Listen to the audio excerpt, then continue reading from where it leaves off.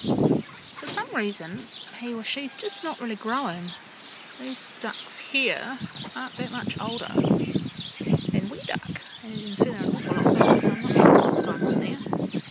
He eats plenty and he seems healthy enough. Anyone know why ducklings don't grow?